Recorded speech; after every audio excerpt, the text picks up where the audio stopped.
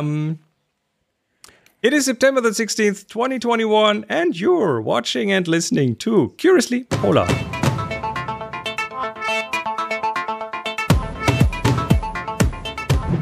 Hello, welcome back. I'm Chris. This is Henry. No, this way. And uh, it's just the two of us today, and we are pre recording this, as you might have heard uh, by the discrepancy of the date I just said and uh, what is on your calendar right now. Um, yeah, let's see. We're we, missing Mario today. Yeah, Mario's uh, he's busy. He's doing important things. so um, we are doing the unimportant thing to record another episode of this. um, and of course, Henry, you've brought us interesting stuff. Um, we want to talk about space again today. Um, it's a recurring topic. It is a recurring topic, and it, it's it's closely linked to what's going on down here.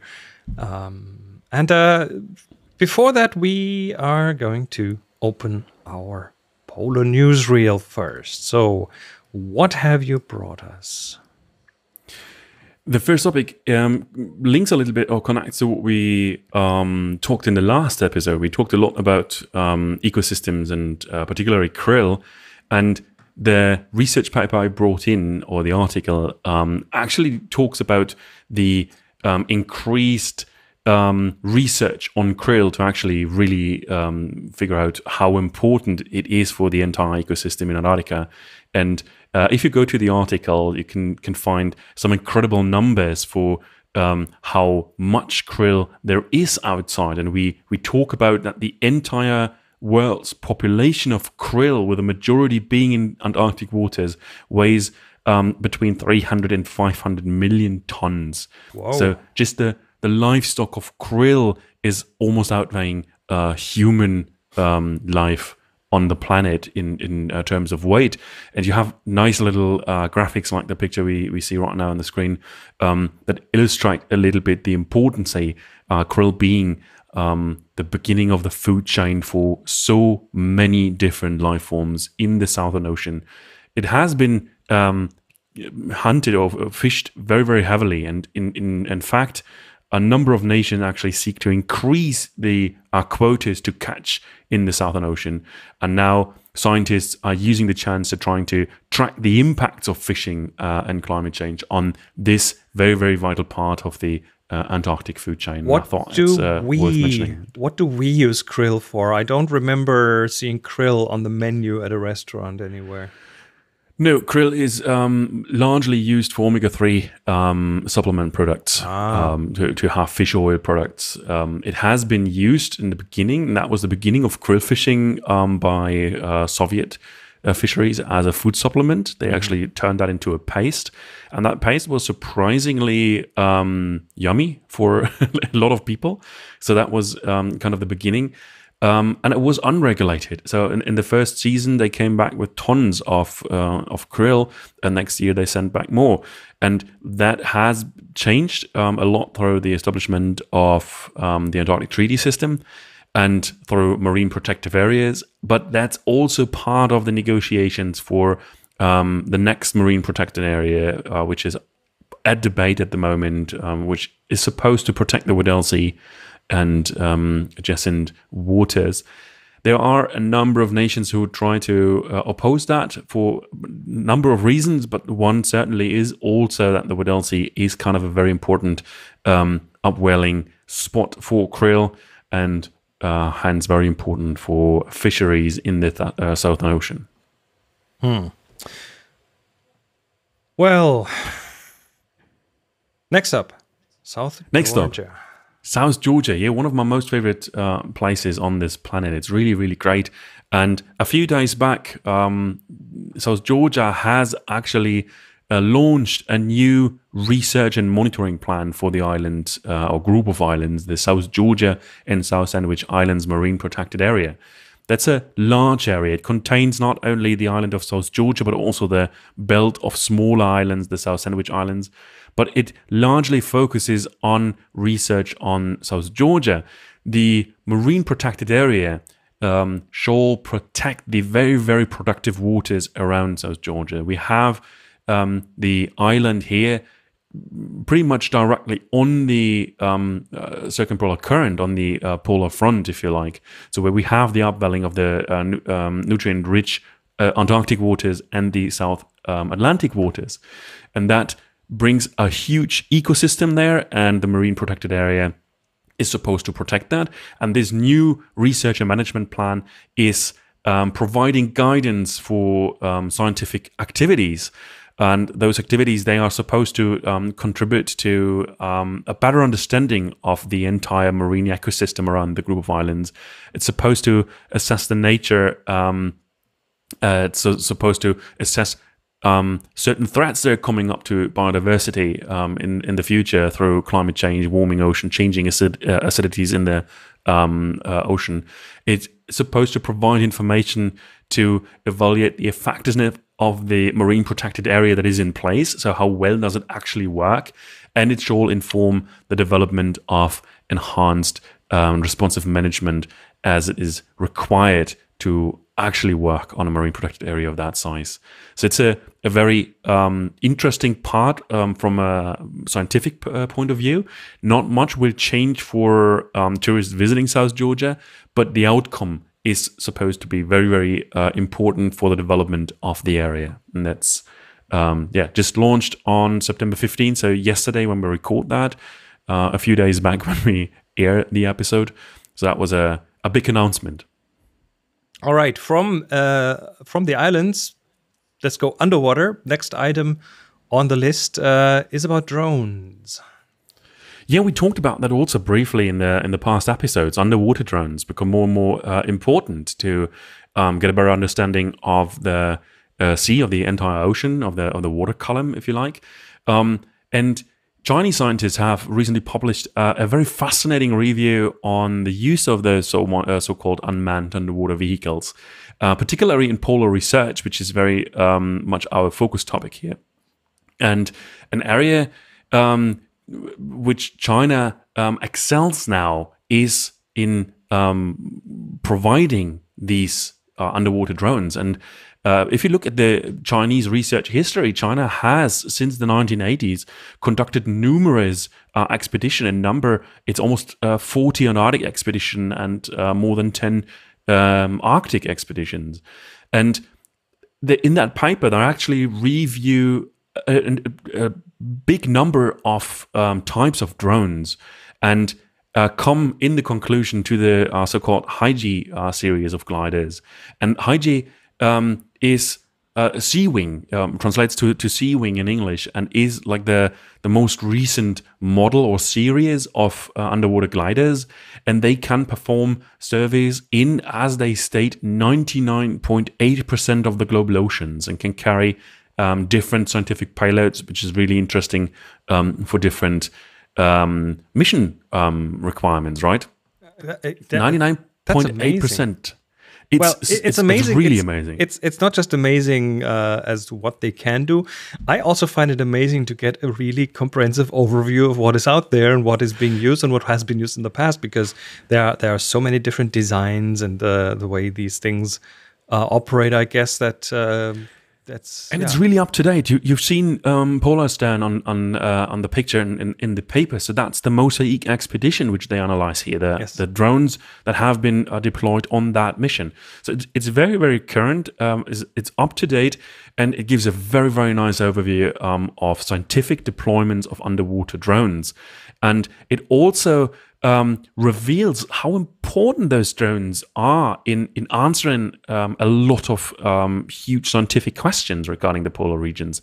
To get a, a, a, bigger picture of what's going on in the polar regions, you need those drones, and what they outline in that paper is actually um, the trends of polar um, underwater drones, where you have uh, planned observations in Antarctica, particularly under the Antarctic ice shelves. Just get the numbers right. Almost 11% of the entire area of the Antarctic ice sheet is made of ice shelves.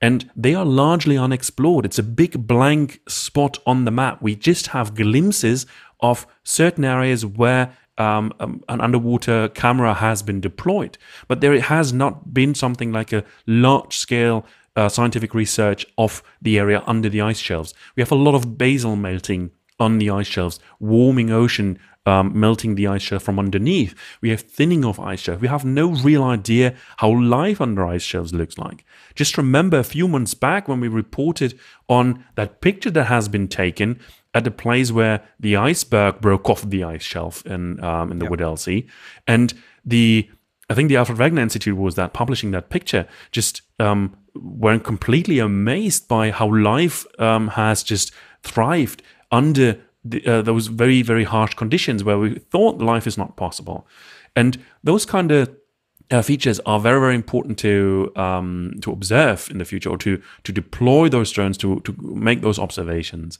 Same goes of course for the for the Arctic sea ice where you um, need long range surveys underneath um, the Arctic sea ice to actually get a better picture not only from above but from a, a broad area from underneath. So we have a, a big trend of more of those um, remote vehicles or remote drones they have still some limitations that's also outlined in the paper, but they also say very, very clearly with um, small changes, you can actually extend the life uh, range of the um, underwater drone significantly. And that's very, very important for um, long term observations. And it's really something um, I'm looking forward to if China in the very near future can actually deploy those underwater drones under the Antarctic um, ice shelves to get a better impact here. And it's it's not just a feat that they that they can make them and that they can be autonomously uh, doing stuff down there.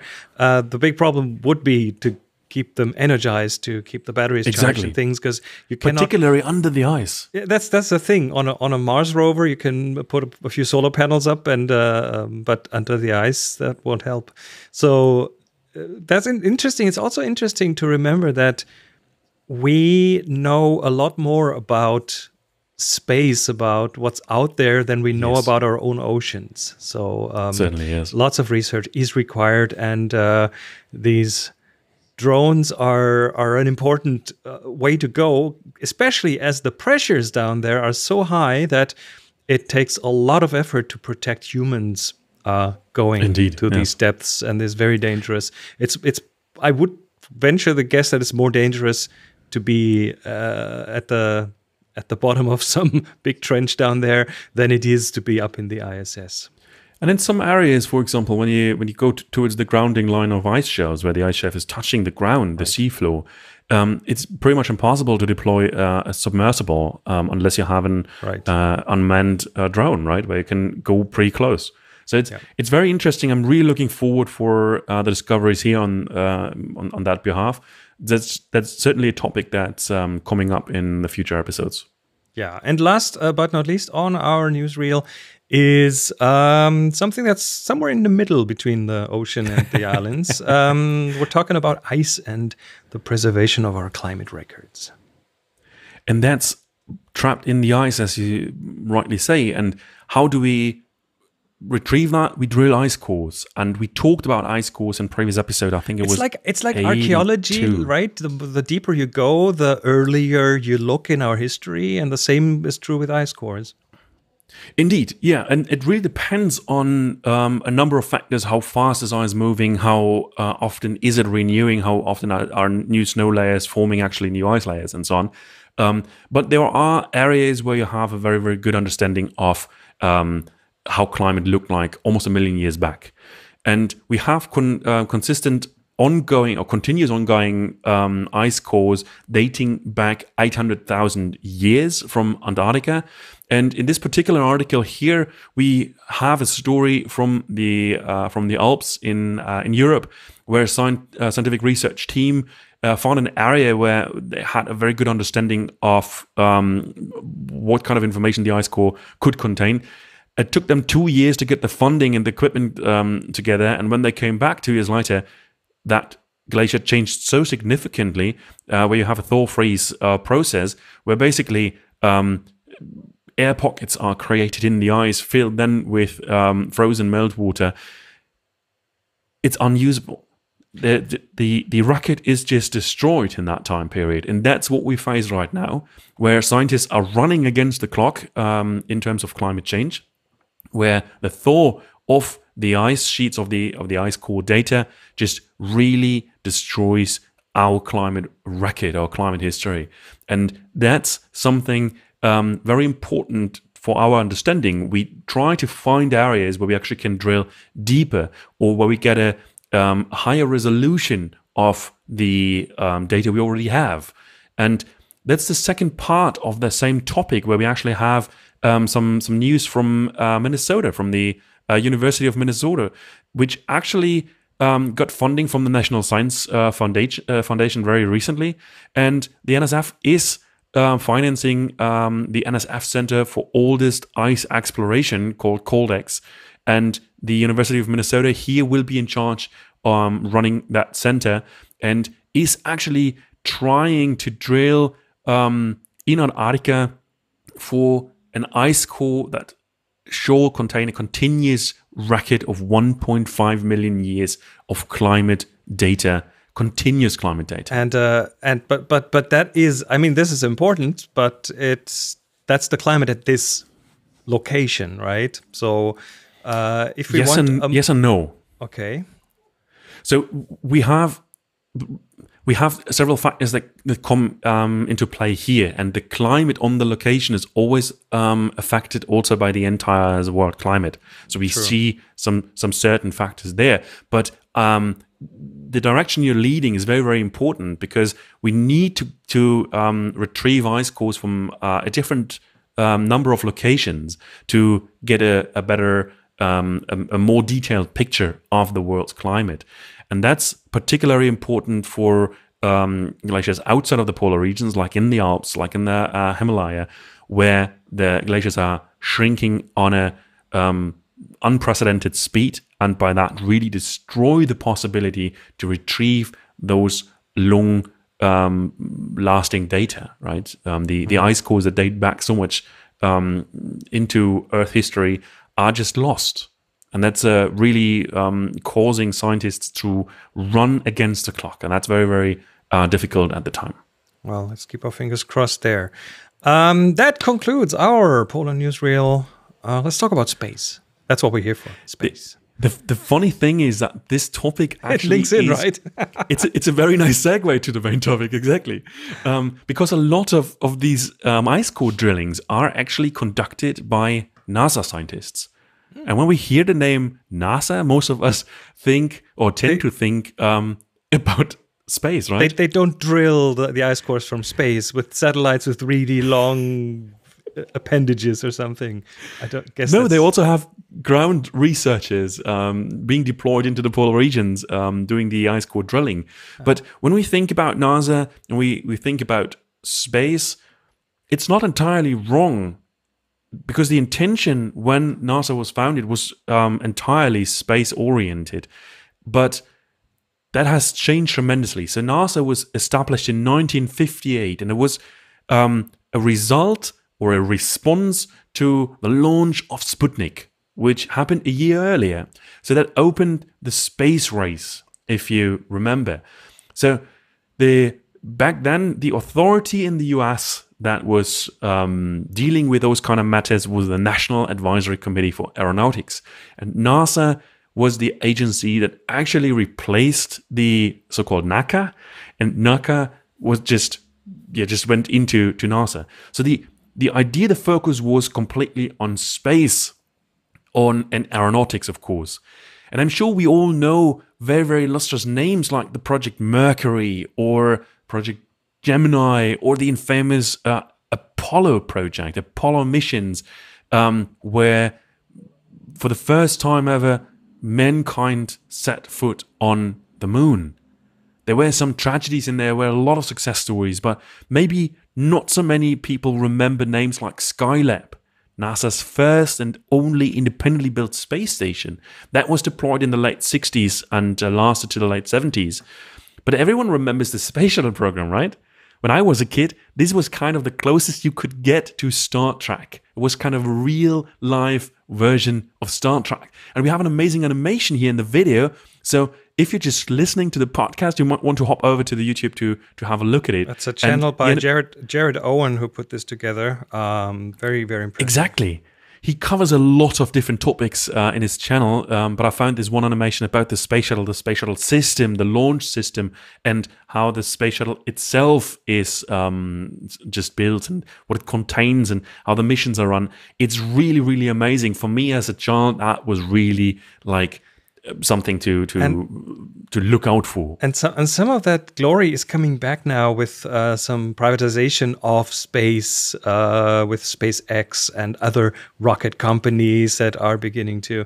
Uh, to fly missions, tourists actually. Um, SpaceX has just, uh, as we record this, there are four civilians up in space, um, up in a SpaceX vehicle, and uh, the, the tourism things, uh, private research, a lot of things are moving up there. So that really links back a, to the space shuttle, which was kind of beginning these things, I guess. Indeed, and there's this kind of a very funny side note because in um, polar expedition tourism, there is um, climate science that play uh, um, citizen science that plays uh, a very important role in what we are doing, trying to uh, involve or engage our guests in um, scientific research or gathering data for researchers who have difficulties to go down or up to those very remote areas.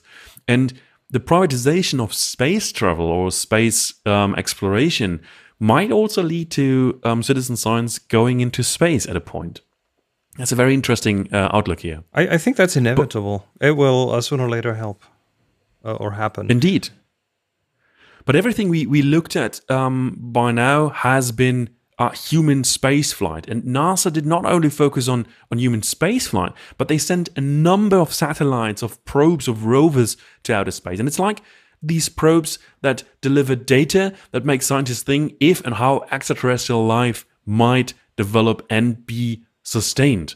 Right? That's a one of the core questions NASA is uh, looking at. And in the 80s, under the um, the Reagan and uh, later the, uh, the, Bush administration, NASA um, established the so-called Earth Science Earth Science Research Program that was created, and throughout the years, the research of that program has greatly participated in creating our current understanding of how our planet works.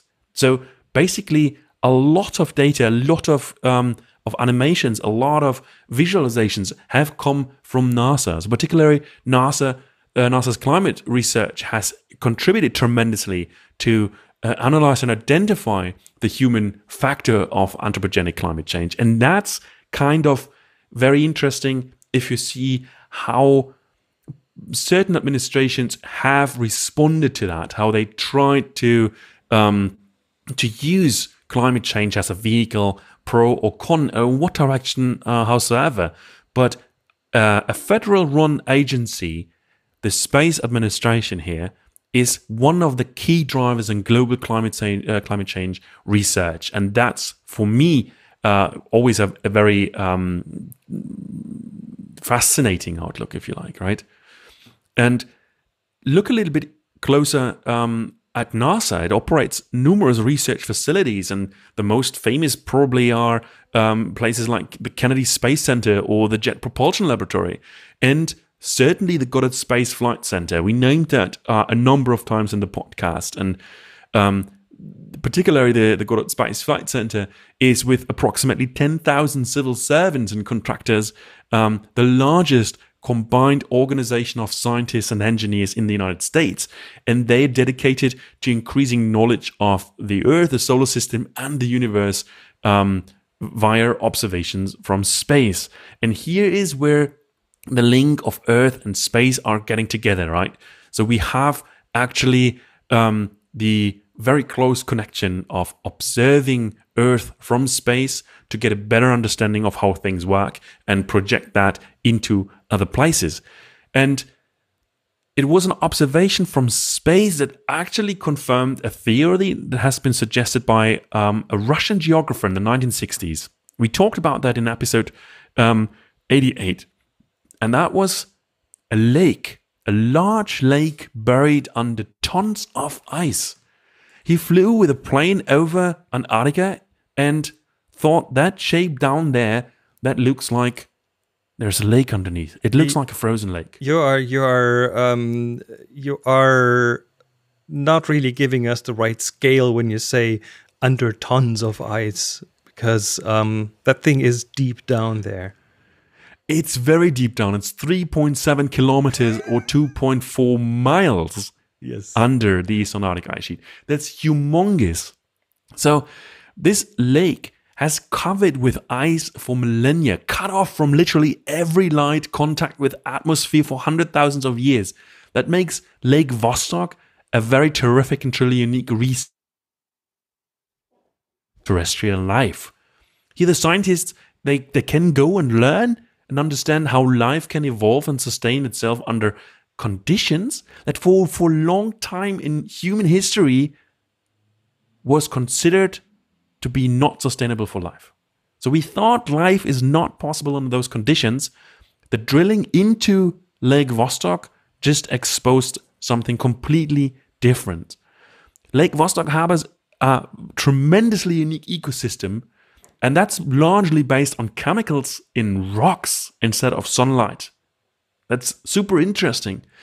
Living in isolation for hundreds of thousands of years, the types of organisms that the scientists found suggested that they derive their energy from minerals present in the lake itself and sources from the underlying bedrock. So that's actually dissolving rocks to sustain life. Um, question: uh, Lake Vostok is three and a half uh, kilometers deep, and uh, and thus it was cut cut off. It's like probably it was a bit like the surface of a different planet. The humans haven't been there. Um, Certainly, yeah. So they are they have drilled into it. Um, do you know if they made sure to not contaminate it with anything that we bring from from the surface?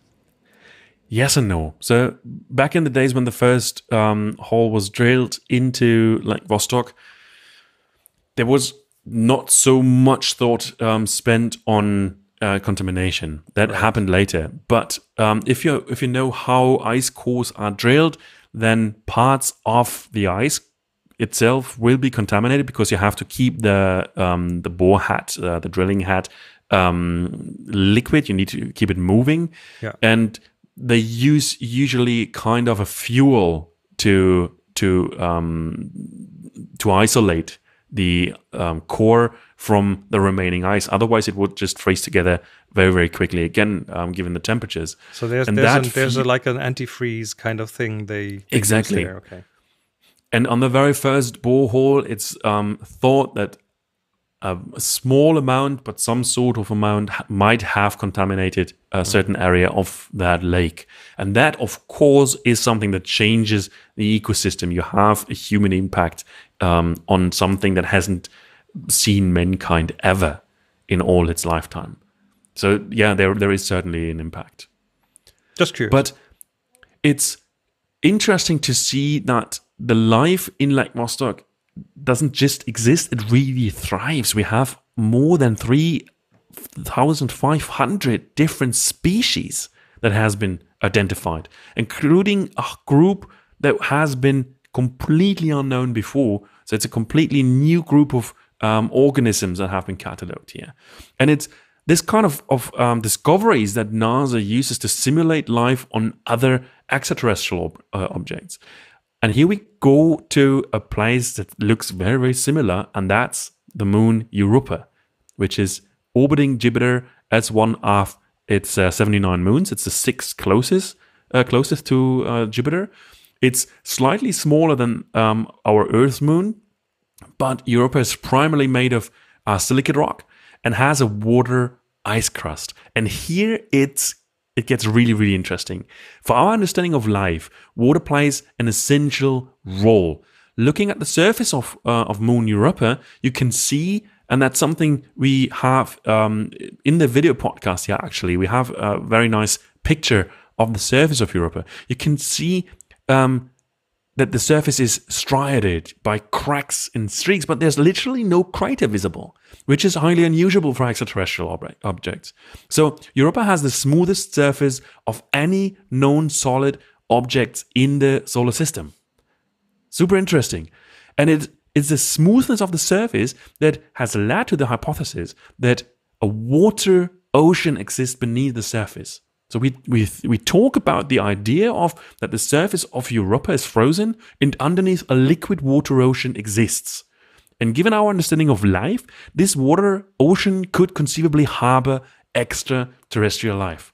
So now we're connecting the dots of the research done in Antarctica on Lake Vostok and the research of extraterrestrial life on objects like the moon Europa. It's an extremely expensive um, research to um, deploy a mission to Europa to um, create the basic understanding of the conditions there to figure out how things are done. So, luckily, NASA found some stand in, if you like. And film production, we say stand in that just comes in when um, the star actor is um, having a break. So, um, Antarctica works a little bit in that way. So, the conditions in Antarctica, particularly at Lake Vostok, are very close to what to expect on uh, Europa. And drilling through such a thick layer of ice, and I just try to just recall that 2. Point, uh, 3.7 kilometers, 2.4 miles of ice on top of a liquid lake. So the Lake Vostok is completely liquid underneath. That gives a very good idea what to expect on challenges to actually drill through the frozen surface of Europa and get to the liquid part. So here we have really um, a very good stand-in to understand how an operation on Europa might look like. So that's a, a very interesting um, side way to reach the answer of how life could have developed and may sustain itself on Europa. So there might be life forms, and that's like the big, um, the big question mark here is: Do we find um, life outside of Earth somewhere so, in the solar system? And Europa is like the number one candidate here. Yeah, that's that's what I what I've read in some places that uh, liquid water means very good uh, chances for life. And, uh, exactly that's also when, when you when you go to Mars, um, it's the the big question of um, are there water storages somewhere in in some form? Can that maintain life? Can yeah. is that yeah? Where, where you find water, you find proof of life. That's the, the equation that's made up. But it's not only that, and it certainly is a very extraordinary topic. And I would love to just cover that in another separate episode because, like Vostok itself, really deserves um, a full spot on episode, and um, we plan to have um, some some uh, very important guests on the show to actually talk about the research of Lake Vostok and the findings of life in Lake Vostok. So that's coming up um, in the future, but this connects the mission of the U.S. Space Agency to Earth and um, the undertaking of the space agency of broadening our understanding of space. So here we have really both things coming together. So it's primarily the aim to understand the system that favors and creates life on Earth in the first place. So we are in a in a very favorable condition, which we actually change tremendously and very very quickly um, through the way we use, we facilitate Earth. But it's exactly that understanding of the system that um, needs to be understood to get a better idea of how life on other planets could have formed or might still exist. And that leads to the fact that today NASA and its um, many research facilities are one of the key drivers in um, earth sciences, but also climate research. And it has amazing programs brought um, to daylight, like Operation Icebridge as part of the Airborne uh, science program. Operation uh, Ice Bridge just went over both big ice sheets, over Greenland and over Antarctica. And it has flown uh, numerous missions and has created high resolution pictures of a number of places. I think there is no place better cartograph- uh, cartographed than um, Antarctica at the at the moment through satellites, through um, aerial photography from Icebridge, radar um, measurements from Icebridge. 10 years of operation has gathered so much information on that. It's really outstanding.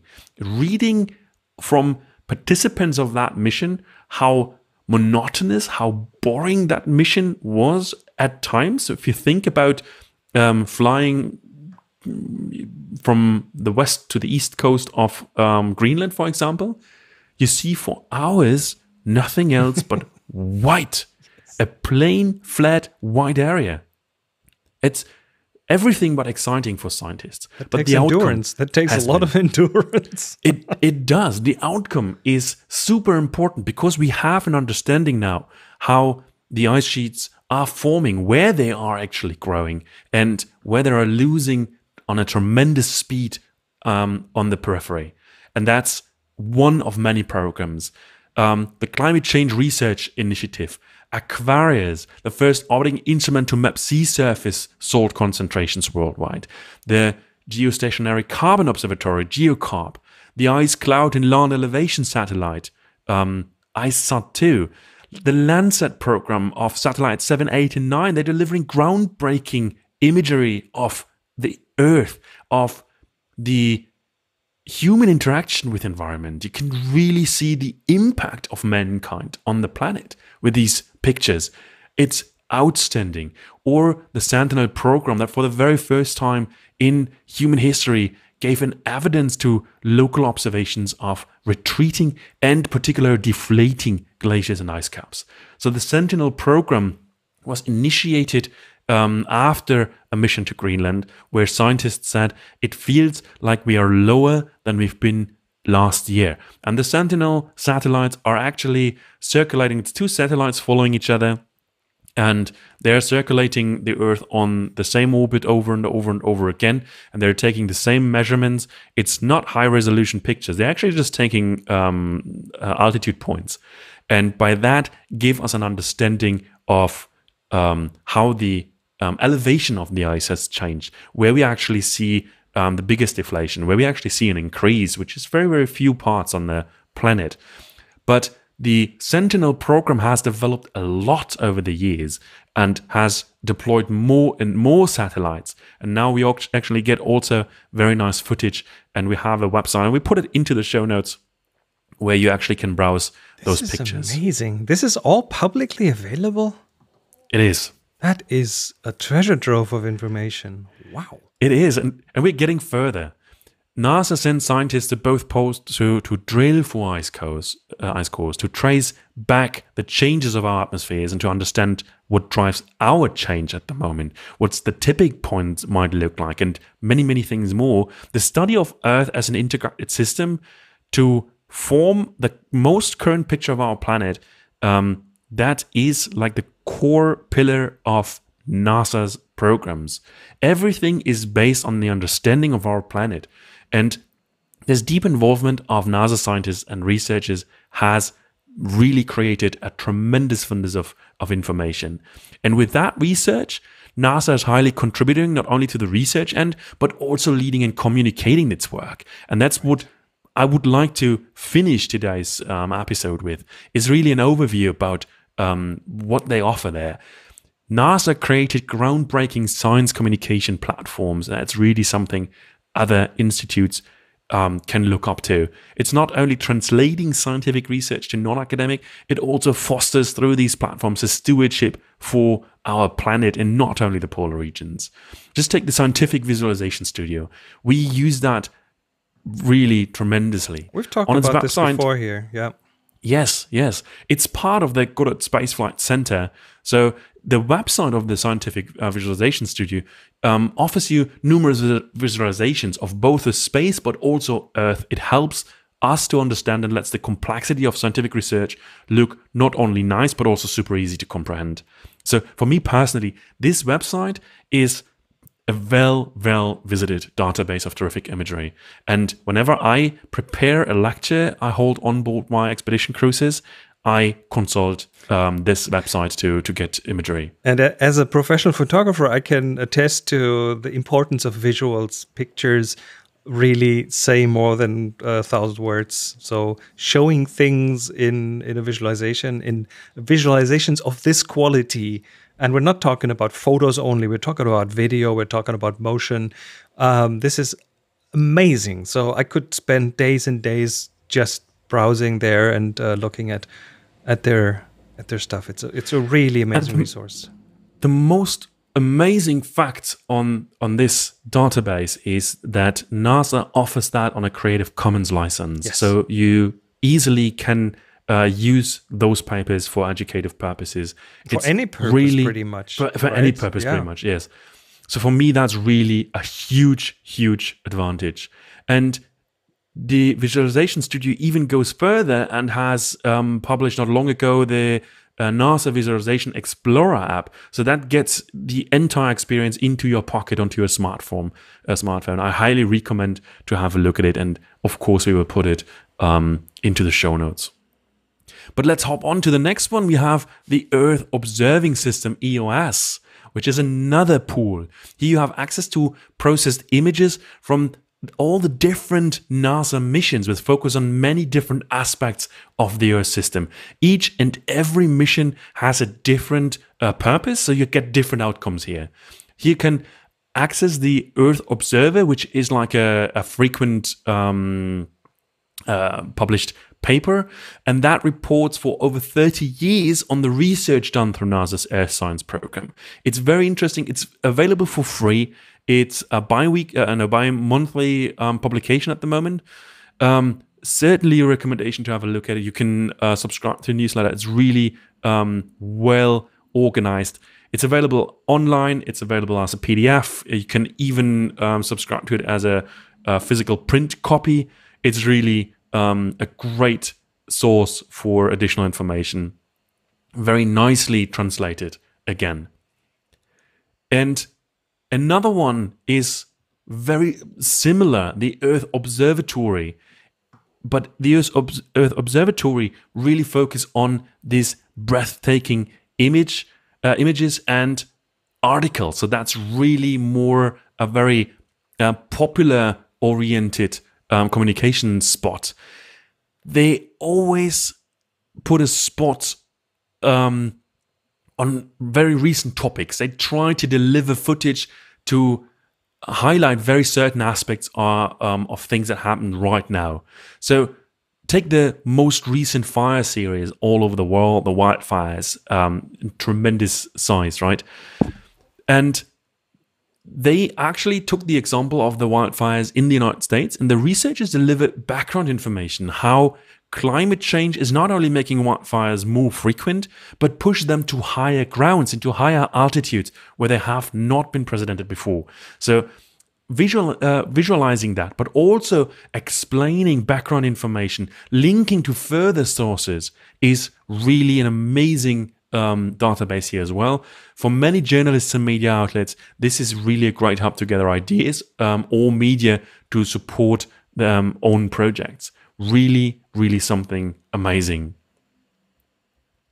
And last but not least, we highlighted it in a lot of episodes throughout the pod- podcast, particularly in our video version when we talked about Iceberg A68A, and that's NASA Worldview, which is a, a pretty amazing website.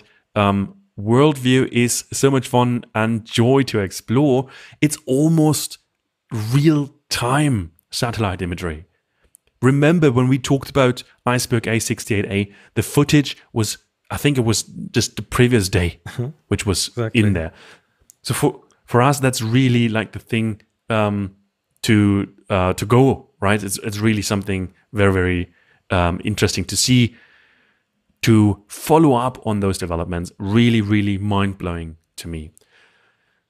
So much of the work is done in the polar regions, and particularly for us um, polar nerds, this really is a gift to have. Um, having all those sources, all the research, um, to actually make us understand how precious these places are, but also what impact they have to our daily lives thousands of miles away. So for me, um, connecting space and Earth will always be a recurring topic because that's really amazing.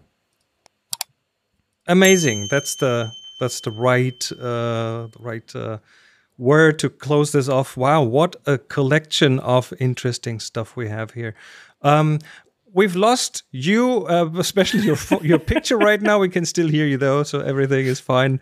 Um and uh with that i guess we are gonna be uh, closing off this episode.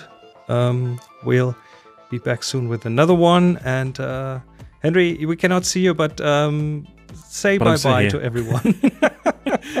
Thanks for listening. Thanks for watching. Uh, see you soon. Bye. And of course, you can find us online at Curiously Polar on our uh, website, curiouslypolar.com, on the social media, and uh, on YouTube on our channel, which is also called Curiously Polar. Until then, take care. Bye bye.